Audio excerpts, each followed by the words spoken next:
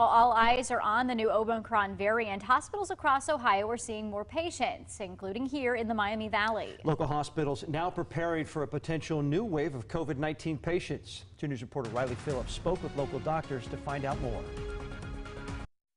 While we still don't know much about the Omicron variant, health leaders in the Miami Valley address concerns about rising hospitalizations and what it can mean for the response to the new variant.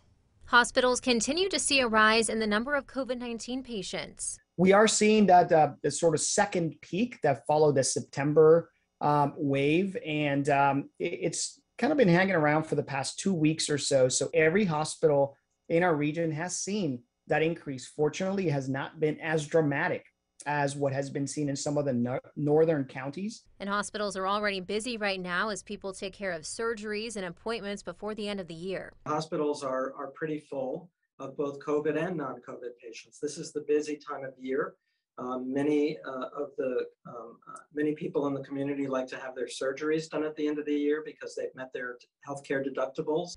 With full facilities, adding a new variant into the mix can be concerning. Local doctors say there is no reason to panic yet, but they are starting to prepare. What every hospital does at this time is we evaluate what our stretch capacities are, what are the things that we can do to help um, expedite patients as they're moving through the environment of care.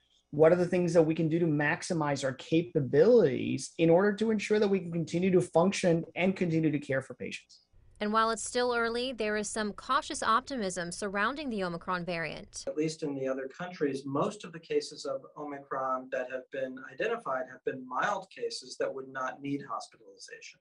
Doctors say this is another reminder to wear your masks in large crowds or gatherings, get tested if you feel sick, and get the vaccine to help slow the spread of all variants of COVID 19.